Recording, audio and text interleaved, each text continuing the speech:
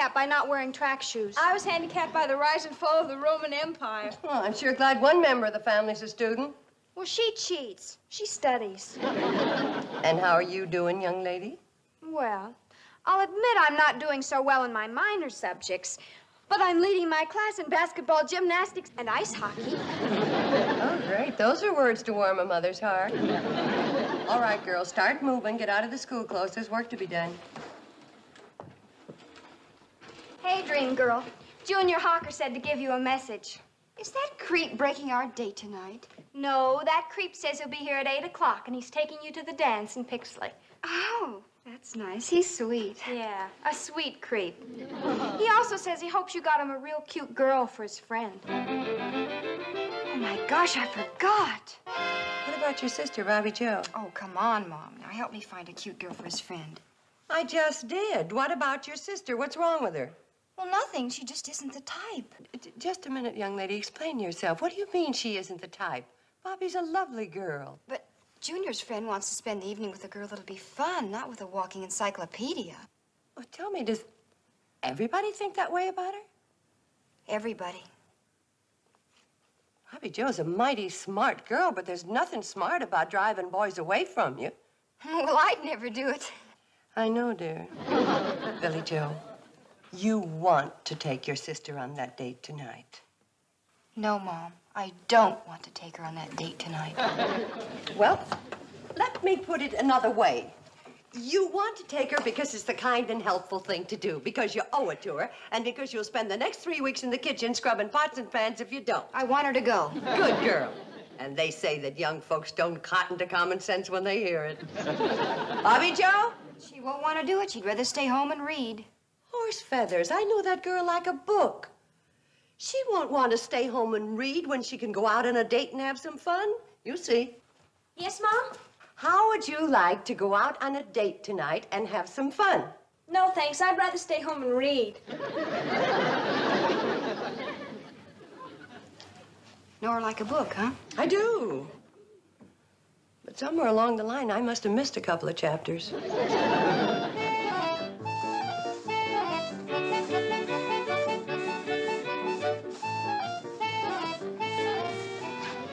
Good heavens. Hockey season again? Oh, Mom, hockey's not dangerous. Of course not. Show me your teeth. I want to remember them as they are right now. All right, flyer skate back to the cake batter. I want to talk to your sister. You know, Bobby, you have a dandy sense of humor. I have? Oh, sure. you remember a few minutes ago when I asked you if you wanted to go out on a date tonight? Yes, I remember. Yeah, well, who but a girl with a sense of humor would have said, no, I'd rather stay home and read. I mean, that's very funny. A real knee slapper. Great kid. wasn't it? Bobby, wasn't it? You were kidding. Hmm? I was afraid of that. Bobby, this is a serious matter, and we're going to have to talk about it like grown-ups. All right, Mom. Good. Now, I've always said that you are smart as a whip. I'm not going on that date. I've also said that you're stubborn as a mule. Why won't you? Well, I'm just not interested in going with boys yet, that's all. But your sister Billy was interested in boys when she was your age. Billy was interested in boys the minute she found out they weren't girls. Hockey players should be seen and not heard. Back to the ice. I'm not saying to make boys your life's work like Billy, just a part-time hobby. So you'll know one if you trip over him. Mom, please don't push me. I'm not pushing. You remember the things I've said about parents who interfere in their children's lives? Of course, I remember. Well, forget them. I'm interfering. But, Mom, I... This is one time when I use my own judgment to do what I think is right. You're going on that date tonight. All right, Mom. Hey. But honestly, I, I just don't feel comfortable with boys. Oh, you'll be fine, honey. I- getting used to boys is like, like getting used to rhubarb. When you first try it, it's strange. And then after a while, uh, well, it, it, it's still strange, but by that time, who cares? You're hooked on rhubarb. oh, Mom, you're wonderful.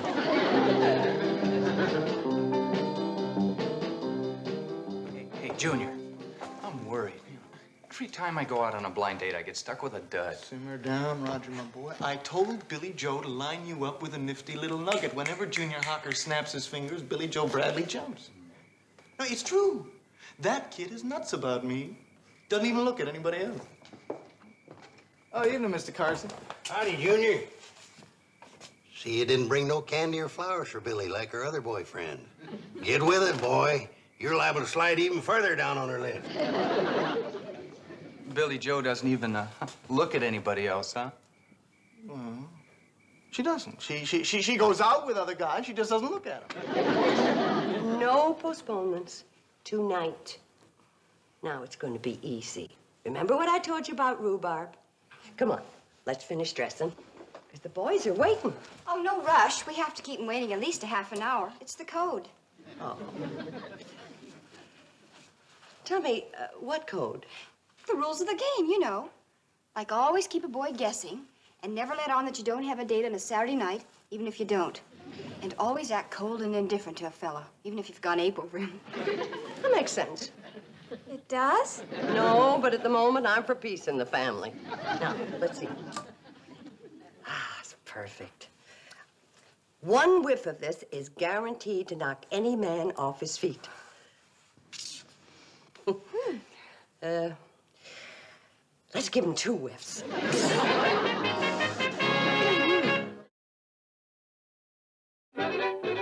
Look, it is 8.30. Now, what's happened to Billie Jo? Relax, dream lover. Your waiting period is over. In exactly 17 seconds, my devastating sister Billy will appear on the landing, giggle, flounce down the stairs, and say, Oh, dear Junior, you're here already. I do hope I haven't kept you waiting too long.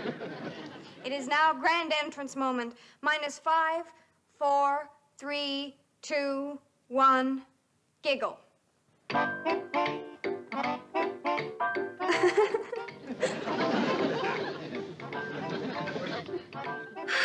Dear Junior, you're here already. I do hope I haven't kept you waiting too long. you see, I am not only lovable, sweet, charming, and glamorous, but I'm also brilliant. Ta-ta.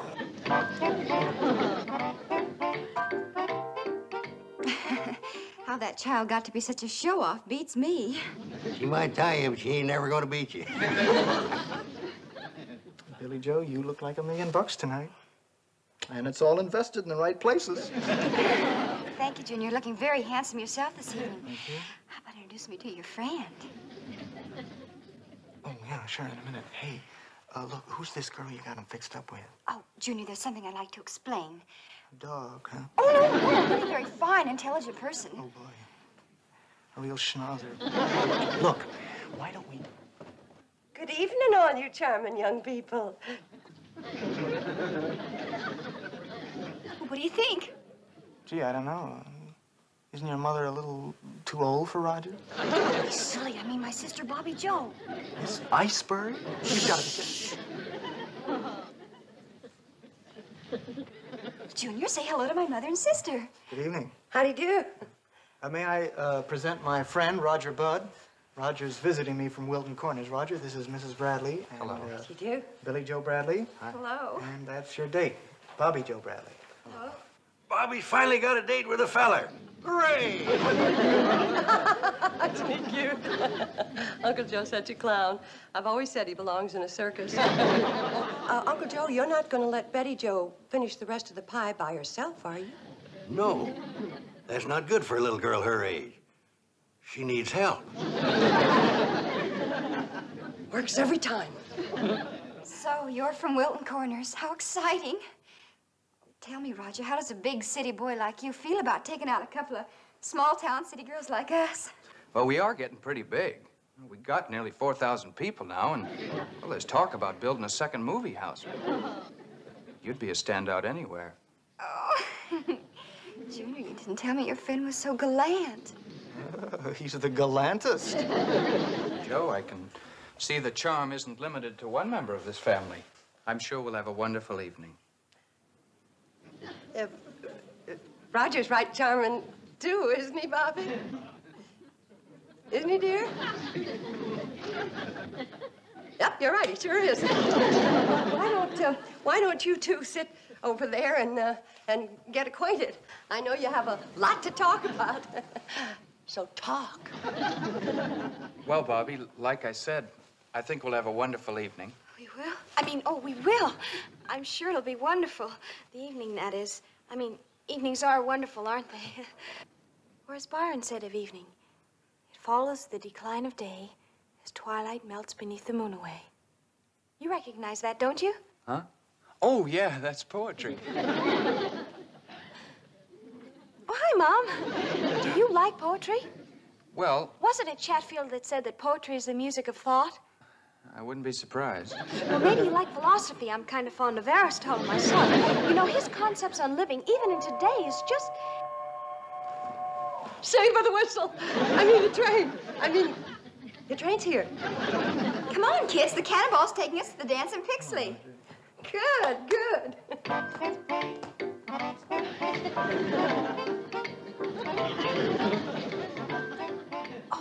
Mom, you saw me trying to talk to him. I was hopeless. I'll never make it. You will, honey. Think rhubarb. Come on, Bob. We're going to be late for the dance. Bye, Billy. Bye, Mom. Bye, Bobby. Bye, Mom. Bye, Junior. Bye, rhubarb. Roger.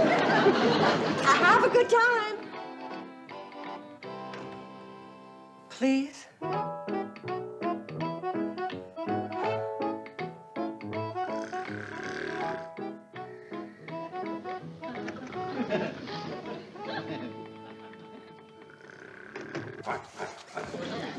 Won't you?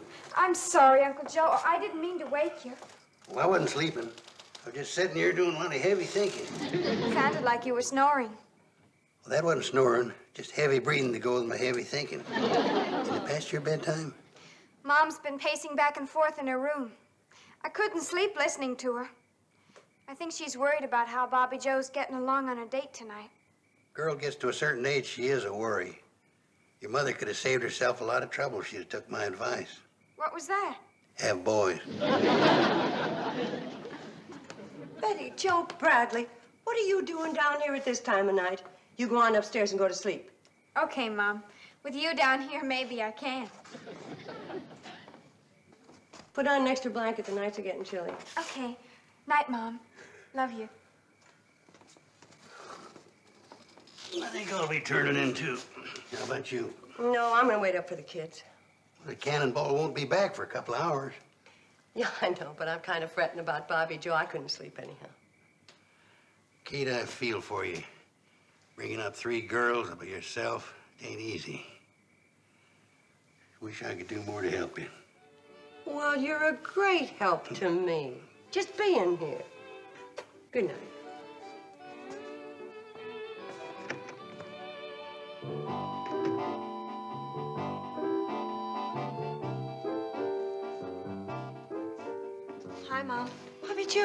Where'd you come from? Where are the others?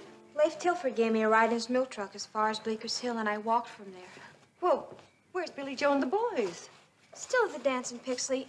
I didn't feel well, and I didn't want to wait for the train. Good night, Mom. Whoa, girl, whoa. Don't wave a carrot in front of a donkey's nose and then yank it away.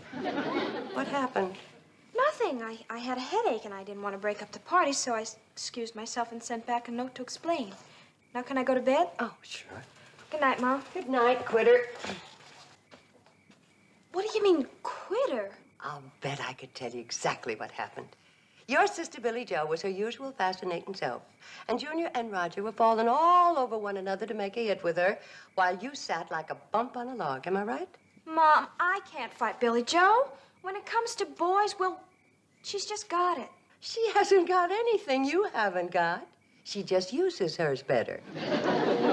Mom, you should see the way she carries on over boys. It's ridiculous. Like what, for instance? Well, when my date asked her to dance, she took hold of his arm and she said, Oh, Roger, those muscles. Where did you ever get them? Did Roger like it? did he ever?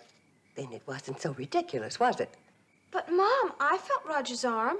Wasn't that great? Honey, there isn't a man, woman, or child who doesn't love to be flattered.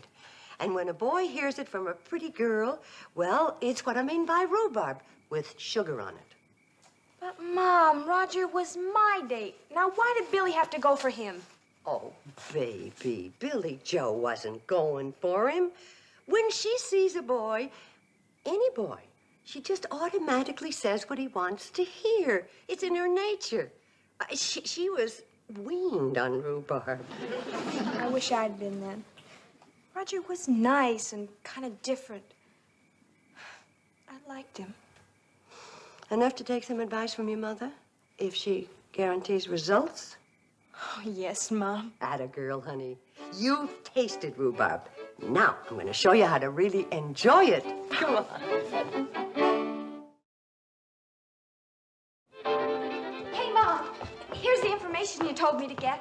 After school today, I nosed around town. Herbie Bates reported she... Where's your sister, Billie Jo? Upstairs, getting ready for a beauty bath. What else? Oh, okay. Proceed with the report. Right, Chief. Secret Agent X3 returning from assignment L29. Just the report. Oh, okay. Herbie Bates says he's crazy about Billy because she wrinkles up her nose so cute and because she makes him feel so strong and masculine. Okay, next. Wilbur Hodgkin says he flips for Billy because she walks so cute and because she makes him feel so strong and masculine. Next. Tad Perkins says he likes her because she dresses so cute and because she, She ma- makes him feel so strong and masculine. I just wanted to see if things had changed since I was a girl. They haven't. The thing we have to do is to get Bobby to beat Billy at her own game. Gee, Mom, do you think that's fair? I mean, taking sides like this against Billy. Well, honey, that isn't the point. You see, what we're going to Mom, do you know what happened to those six new movie magazines I brought home? Well, yes, dear, they're, in your top bureau drawer. Why, do you need all six of them? Sure, it's gonna be a long bath. Oh. Billy, Yes, Mom? um, your date Friday night was with Junior. Why did you make such a big play for his friend Roger? Oh, well, I thought Roger was cute. I liked him.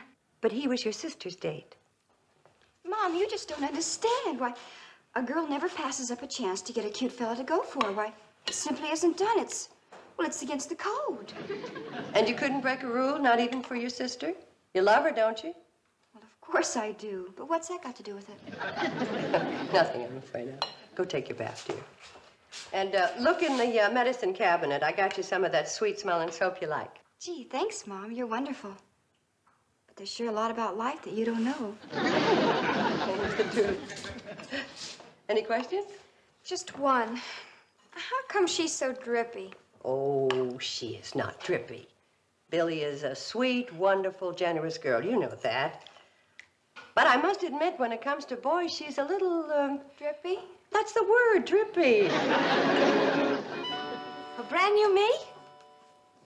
I don't get it, Mom. You will.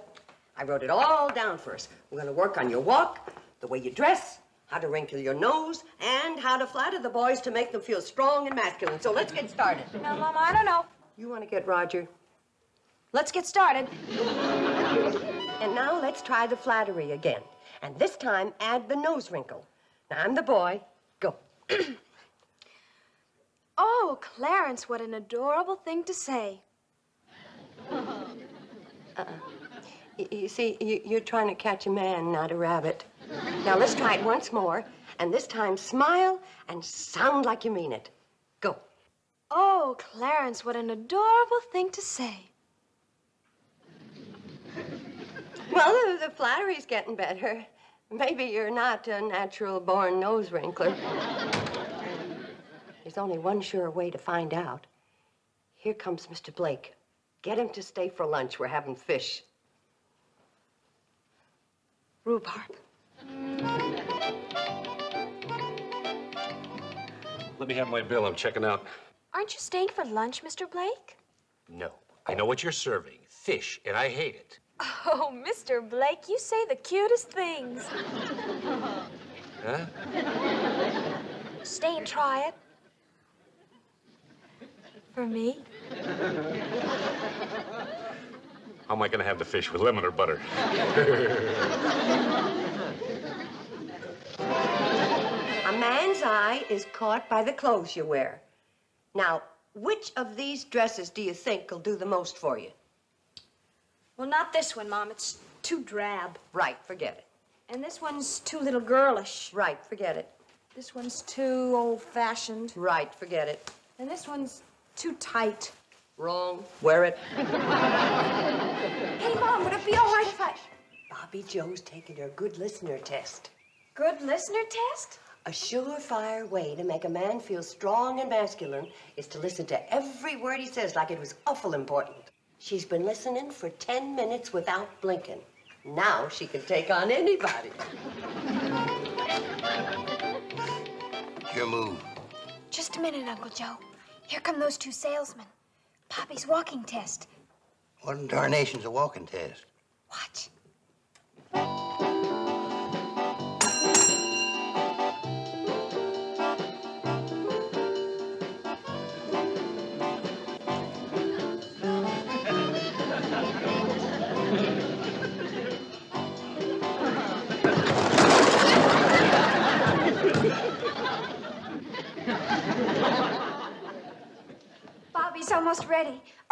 Junior here yet? Not yet. How does she look? Sensational. Scared, but sensational.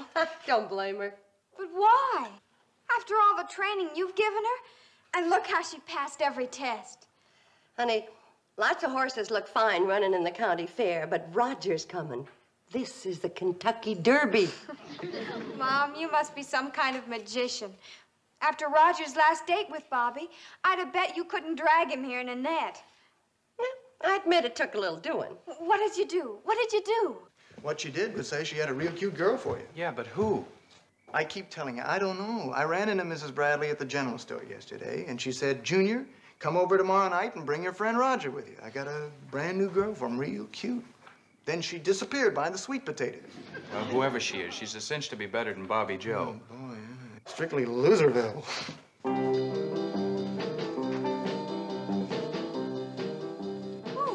Boys. You're right on time. Come on down, dear. The boys are here. Roger, I know you're gonna like this girl. She's awful cute. Oh, yeah. Hey, uh, who is she, Miss B?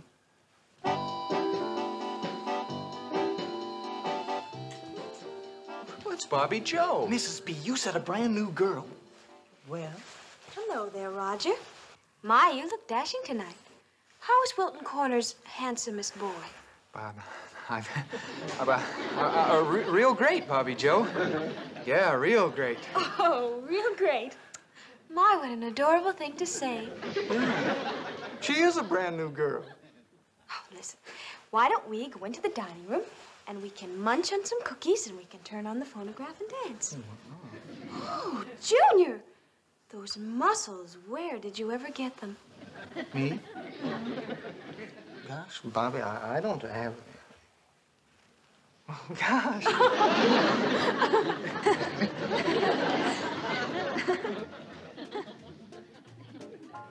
tell me, Betty Jo, do you think the rain will hurt the rhubarb? My, what an adorable thing to say.